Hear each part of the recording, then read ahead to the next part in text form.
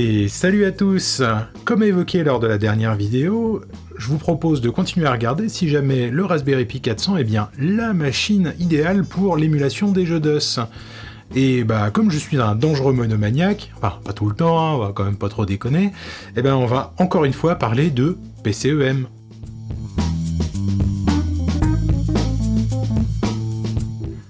Alors, petit rappel pour commencer, la machine sur laquelle je vais vous montrer comment installer PCEM, parce que si, il y a vraiment besoin d'un mode d'emploi, je vous promets, et donc pour laquelle on va évaluer les capacités d'émulation après coup, est un Raspberry Pi 400.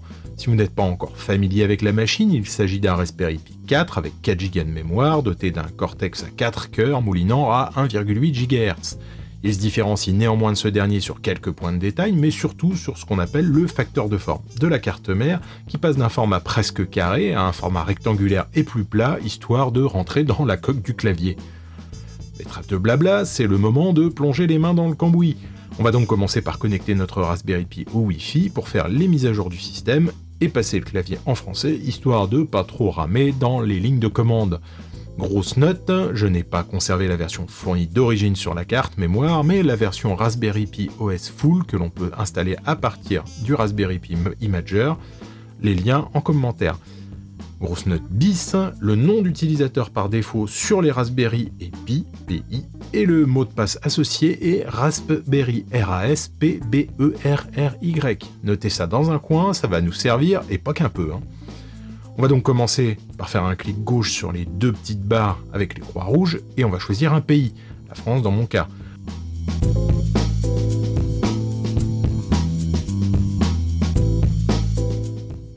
On attend un petit peu, puis on clique gauche de nouveau sur la même icône. Si tout se passe bien, la liste des réseaux Wi-Fi accessibles va se peupler. Alors attention, si vous suivez mon conseil et ce tuto à la lettre, là on est encore en clavier anglais. Oui, je sais, il m'arrive d'être un peu con, hein, c'est comme ça. Donc ne pas hésiter soit à faire la configuration du clavier qui est un petit peu plus loin dans cette vidéo, puis revenir ici pour la configuration de Wi-Fi histoire de la finaliser, ou bien contrôler son mot de passe en décochant Hide Characters, ce que j'ai dû faire en gros malin que je suis.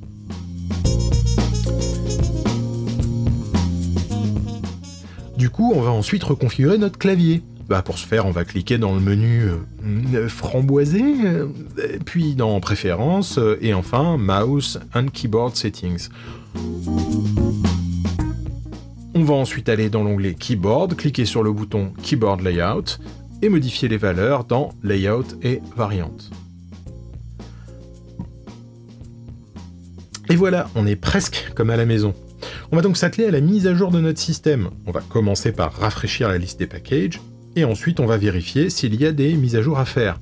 Pour ceux qui ne sont pas familiers avec les systèmes de dépôt de paquets sous Linux, on va avoir des serveurs sur lesquels plein de logiciels vont être mis à disposition. Sur ces serveurs, on a une sorte de fichier d'index de ce qui est contenu sur le dépôt euh, qui va être disponible, avec ce qui est ajouté, mis à jour et supprimé. Donc c'est mis à jour en permanence. Donc là, on voit qu'on en a quelques-uns, mais vu que l'image que j'ai installée sur la carte mémoire est assez récente, parce qu'elles sont mises à jour elles aussi, c'est assez limité. Mettons tact, hop, on installe les mises à jour. Vous vous souvenez que je vous avais dit de noter le mot de passe? Eh ben voilà.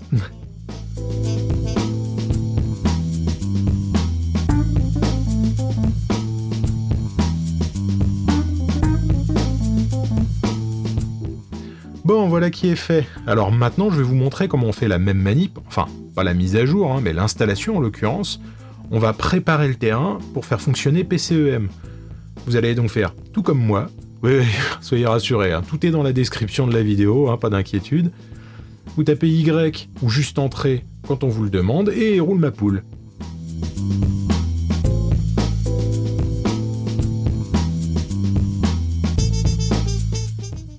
Parallèle de ça, on va aller télécharger la dernière version de PCEM, mais pour Linux cette fois-ci. On va donc aller sur le site internet, on récupère un fichier compressé au format RGZ,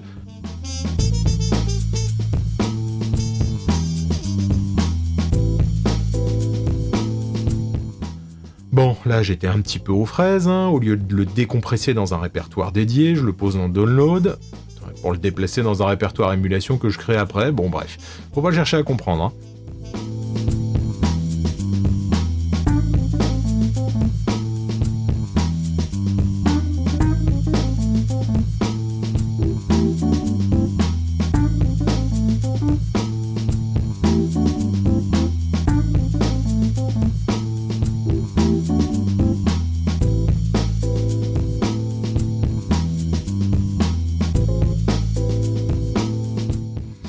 Que le contenu de l'archive n'est pas exploitable tel quel, on va devoir le compiler avec nos petites mains velues. Et pour savoir comment procéder, bah rien de tel que d'aller voir directement à la source. Et regardez là, vous voyez la section qui dit « Vous allez avoir besoin des librairies suivantes ?» Bah c'est ça la ligne de commande qu'on a tapée tout à l'heure. Hein. maintenant vous savez tout. Bref, on n'a plus qu'à aller dans le répertoire où on stocke PCEM et à taper la première ligne de commande qui est indiquée sur le site dans la section Linux, va permettre de construire le fichier préparatoire à la compilation. Ensuite, on n'a plus qu'à lancer cette compilation avec la commande make, et à attendre que ça se passe en croisant les doigts pour qu'il n'y ait pas d'erreur. Donc ça peut être un petit peu long, hein, je vous préviens.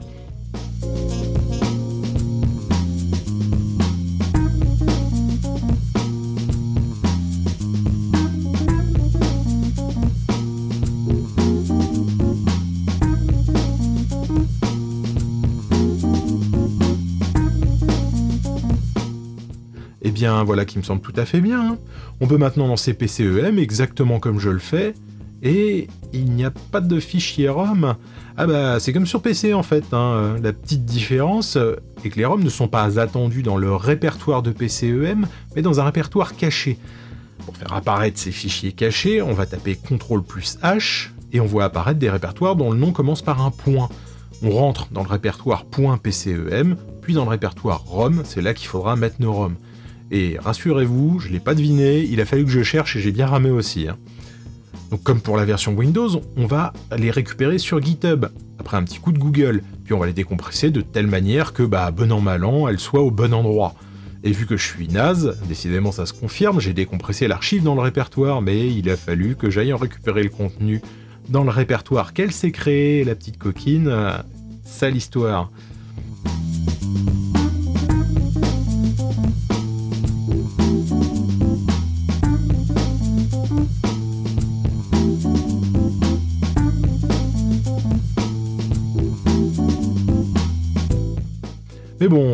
Là, non Et...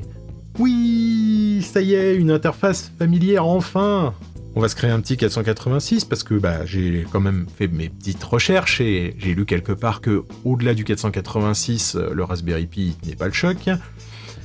Donc euh, après avoir choisi un clone de carte mère avec un BIOS euh, ami, j'opte pour un 486 DX33 avec 32 Mb de RAM.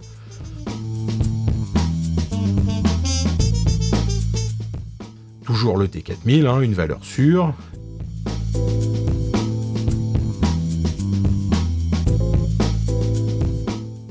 Je crée un disque avec les valeurs par défaut.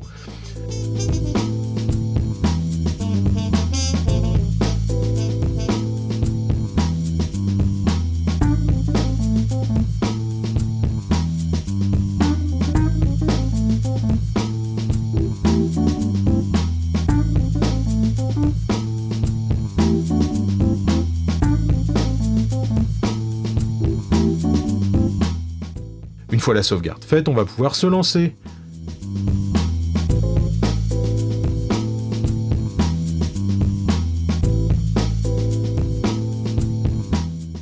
Ah, petit tour dans le BIOS à prévoir.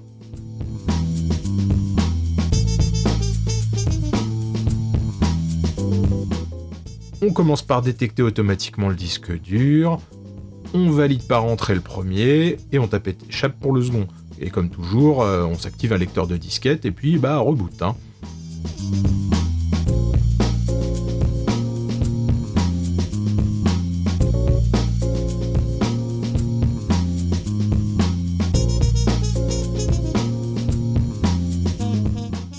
D'ailleurs, euh, il est temps de monter la première disquette de DOS, tiens, ça va nous servir pour tout à l'heure.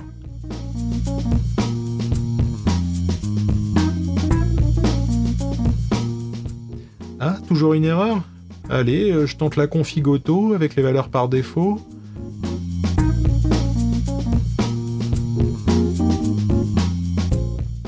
Et ça marche. Bon bah il n'y a plus qu'à attendre la fin de l'installation, on valide tout par défaut, on toast, euh, bah, comme d'habitude quoi, je vous renvoie vers la vidéo que j'ai déjà faite sur le sujet, la manip est strictement la même, à l'exception de pour reprendre la main sur le curseur de la souris, il faut faire un clic du milieu, donc sur la molette. Et pour faire apparaître les menus, il faut faire des clics droits dans la fenêtre de PCEM. Sinon, c'est exactement pareil que la version Windows. Allez, pour changer de QEMM, on va faire un petit coup de même maker pour garder de la mémoire. À l'époque, c'était gratuit, c'était fourni avec euh, MS-DOS, donc autant en profiter. Ouais, je veux de la mémoire paginée, et voilà.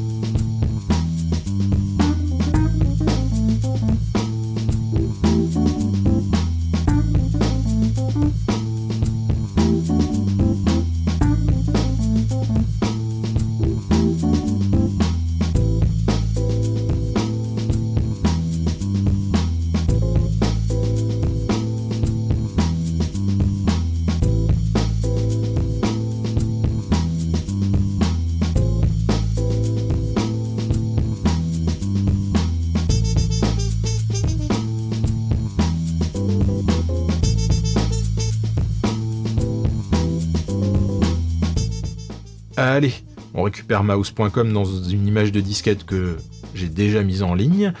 Directement dans le répertoire C2.DOS, comme ça, bah, on n'aura pas besoin de courir après. Idem, on s'installe le lecteur CD, toujours avec la même disquette, histoire de pouvoir tester des trucs.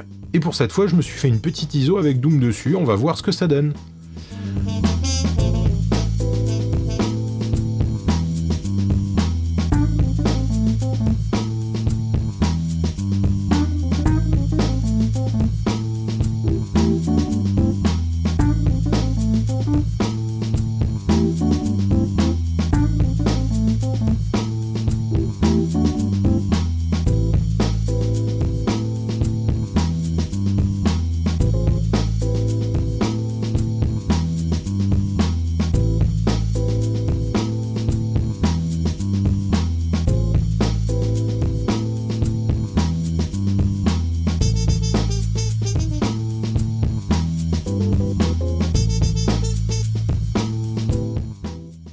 On lance le jeu, on configure, ça charge.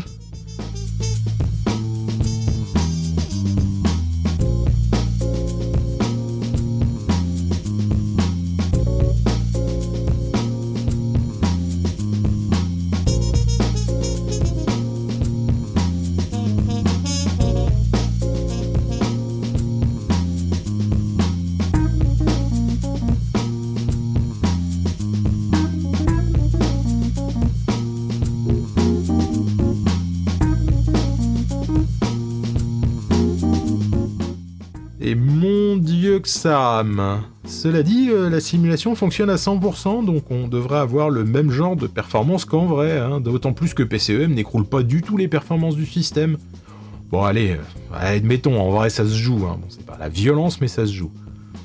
Et tiens, euh, pour tester, on va essayer de se mettre un plus gros processeur, un petit DX266 tiens par exemple.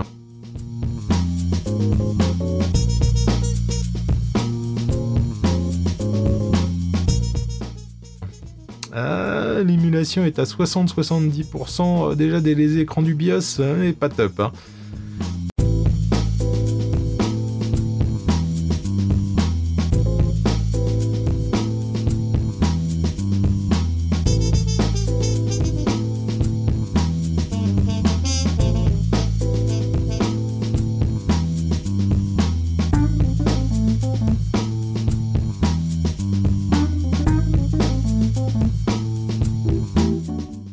Un DX de 50 alors peut-être euh, pas, beaucoup mieux. Hein.